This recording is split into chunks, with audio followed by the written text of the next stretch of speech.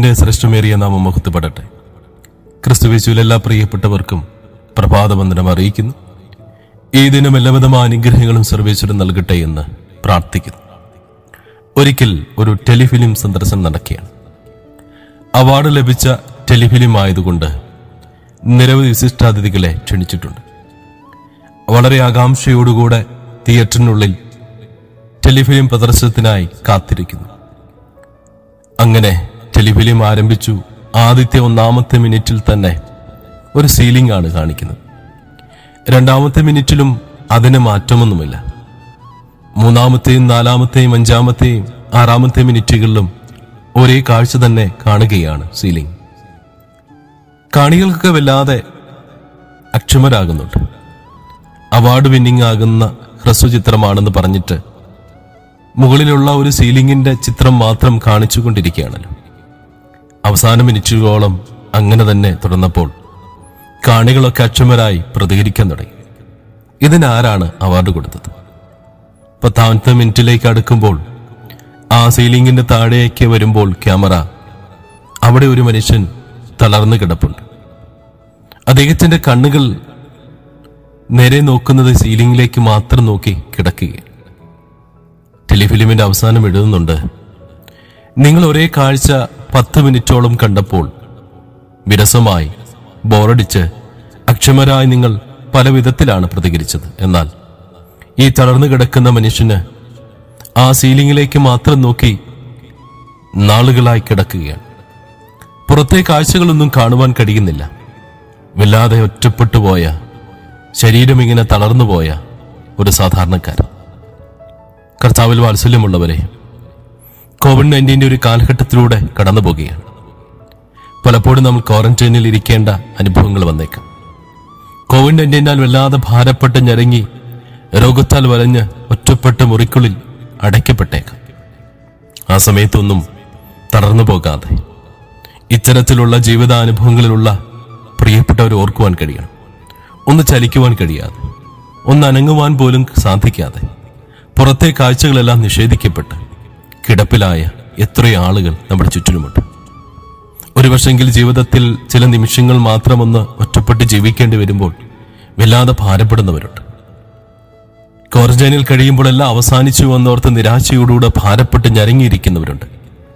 കർത്താവിൽ ഏറ്റവും വാത്സല്യമുള്ളവരെ എന്നാ നാം ഓർക്കണം അനേക ആളുകൾ ജീവിതത്തിൽ കിടപ്പിലായവരുണ്ട്. എല്ലാവിധത്തിലും ശാരീരികമായും മാനസികമായും തളർന്നു കിടക്കുന്നവരുണ്ട്.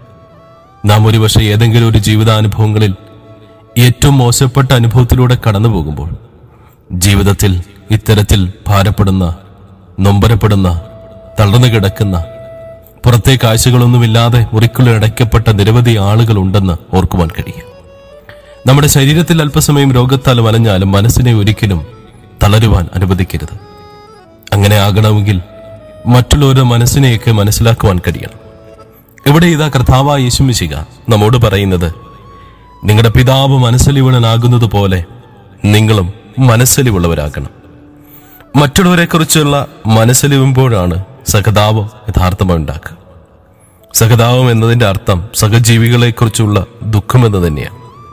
സ്വാർത്ഥത ഇങ്ങനെ കൊടികുത്തി വാഴുന്ന ഈ കാലഘട്ടത്തിൽ മറ്റുള്ളവരെക്കുറിച്ച് ചിന്തിക്കുവാൻ തന്നെ സമയമെടിയാണ്. പിന്നെയല്ലേ അവരെക്കുറിച്ച് ദുഃഖിക്കുന്നത്. മനസ്സലിവില്ലാത്തവന്റെ തെളിവുകൾ പലപ്പോഴും പത്രവാർത്തകളിലൊക്കെ കാണാറുണ്ട്. റോഡ് അപകടത്തിൽ തുടർന്ന് രക്തം വാർന്നു മരിച്ചു. കൃത്യസമയത്ത് ആശുപത്രിയിൽ എത്തിക്കുകയായിരുന്നു രക്ഷപ്പെടുത്താമായിരുന്നു ഇങ്ങനെയുള്ള നിരവധി വാർത്തകളൊക്കെ നിറഞ്ഞു നിൽക്കുന്ന ഒരു കാലഘട്ടമാണ്. എന്നാൽ വാർത്തകൾക്കപ്പുറം സാധാരണ നിലയിൽ ഒന്നും പ്രതീക്ഷിക്കാതെ മറ്റുള്ളവരെ സഹായിക്കുന്ന നിരവധി ആളുകളുണ്ട്. ജീവിതത്തിൽ മറ്റുള്ളവരോട് ഇങ്ങനെ മനസ്സലിയുവാൻ കഴിയണം. വളരെ തിരക്ക് പിടിച്ച ഈ യാത്രയിൽ കർത്താവായ യേശുമിശികയുടെ പുൻമുഖത്തേക്ക് നോക്കാം. അവിടുന്ന് തേടി നടന്ന മുഴുവനും മനസ്സലിയുകയാണ്. പുരുഷാരത്തെ കണ്ട് മനസ്സലിയുന്നുണ്ട്. നയനിലെ വിധവിയുടെ മകൻ മരിച്ചുപോയ അവസ്ഥയിൽ കർത്താവ് മനസ്സലിയുന്നുണ്ട്.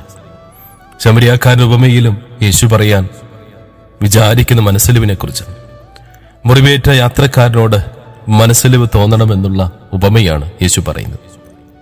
ആയതുകൊണ്ട് തന്നെ ശത്രുക്കളെ സ്നേഹിപ്പാൻ അവർക്ക് നന്മ ചെയ്യുവാൻ മറ്റുള്ളവരുടെ വേദനയിൽ പങ്കുള്ളവരായി തീരുവാൻ സമസൃഷ്ടികളോട് മനസ്സിലിവ് കാണിക്കാൻ ഈ പ്രഭാതത്തിൽ തമ്പുരാന്റെ പാതപീഠത്തിങ്ങ് നമ്മെ തന്നെ സമർപ്പിച്ചുകൊണ്ട് നമ്മുടെ ശ്രേഷ്ഠ പിതാവായ കർത്താവ് നമ്മോട് പറയുന്നത് പോലെ മനസ്സിലുള്ളവരായിത്തീരുവാൻ മറ്റുള്ളവരോട് കരുണ കാണിപ്പാൻ തമ്പുരാനോട് പ്രാർത്ഥിക്കാം.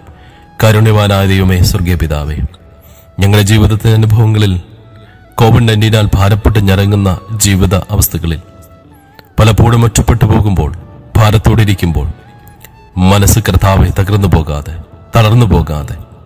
തേമേ ഞങ്ങളുടെ ജീവിതങ്ങളെ തമ്പുരാന്റെ പാതപിടത്തിൽ സമർപ്പിച്ചുകൊണ്ട് ഏറ്റവും മോശമായ അവസ്ഥയിൽ ദൈവകൃപയിൽ ആശ്രയിച്ചുകൊണ്ട് നന്നായിട്ട് ധർണം ചെയ്യുവാൻ കൃപ ചൊരിയണമേ. യേശുവിന്റെ നാമത്തിൽ തന്നെ. ആമേ